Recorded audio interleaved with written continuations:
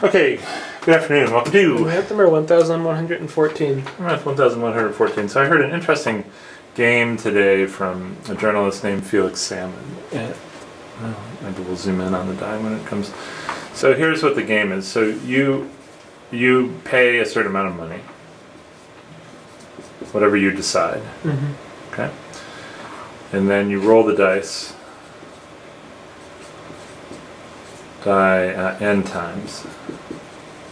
And also you decide n. Okay.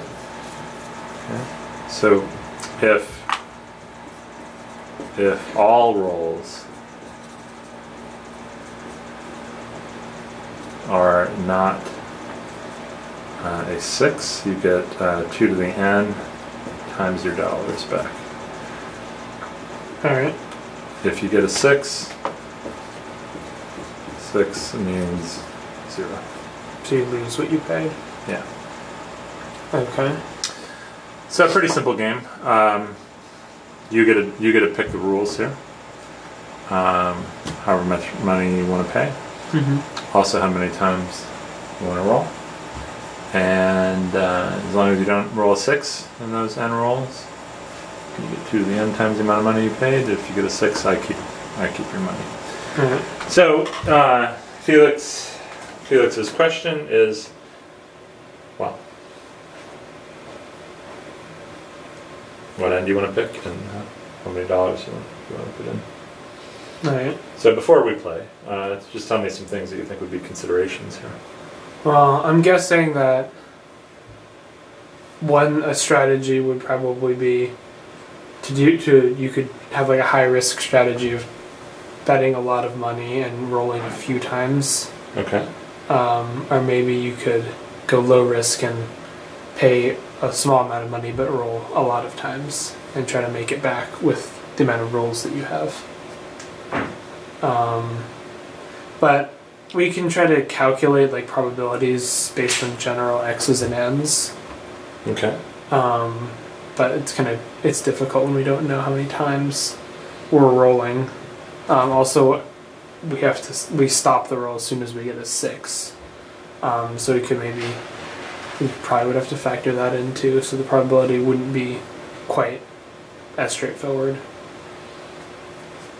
Uh, well, is there any probability that you think is going to be straightforward in here? I mean, just rolling one time Okay. It's pre- pretty straightforward. All right. What's how does that work? Um, well, you have five sixth chance of doubling your money and one sixth chance of losing your money. Okay. So it's pretty easy. Um, I'm not sure. Are we trying to find like ideal amounts of money for no, each no, thing? no. It's not, we're not trying to find any ideal situation. We're just trying to find sort of what what do you think the general considerations are, and what would you think about. And uh, I'm not I'm not sure, by the way, that there is such a thing as an ideal answer to this. Hmm. Well, you want to.